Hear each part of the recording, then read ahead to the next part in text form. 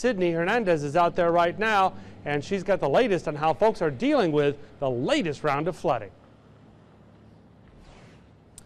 Brian, it is a problem out here. I'm live on Seven Mile Line and Moorefield Road where you can see the water is rising up. Now, I did speak to Precinct 3 officials who say there are roadblocks right here on Moorefield. You can see a sheriff deputy is blocking this street on Seven Mile Line to make sure that no one passes through. Now, this is a problem that we have been seeing. I've been tracking the weather here in rural Mission for hours, and we have seen multiple vehicles get stuck for trying to go through road Now, Precinct 3 officials say this standing water is going to continue to stay out here for hours as their biggest problem right now is getting people out of the homes which where the water has already gone inside. That's the biggest problem that they're facing. They also tell me they only have six trailers to work with. So they're getting to have to pump the water out into those six trailers and out somewhere else because they don't have the same drainage system that the city of Mission does. And I think that's the confusion here. A lot of people who live inside of the Mission City limits are saying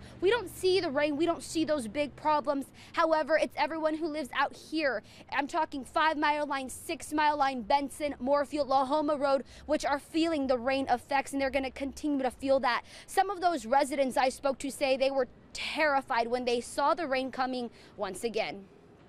Esto fue ahorita, espérese, deje que ahí viene la tormenta para acá. Imagínese cómo se irá, se me va a meter toda el agua para adentro. Ahí a la señora mi vecina también, mire, ahí llegaba el agua ahí al, al mero arriba.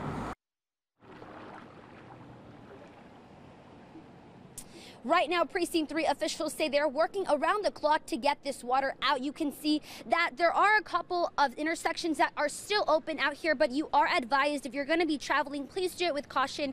Be very, very slow as you're going through these high waters as we are expecting more rain to fall through, and it's unclear if they're going to get any pumps out here soon. Reporting live in Mission with complete Valley coverage, Sydney Hernandez, CBS 4 Valley at 6.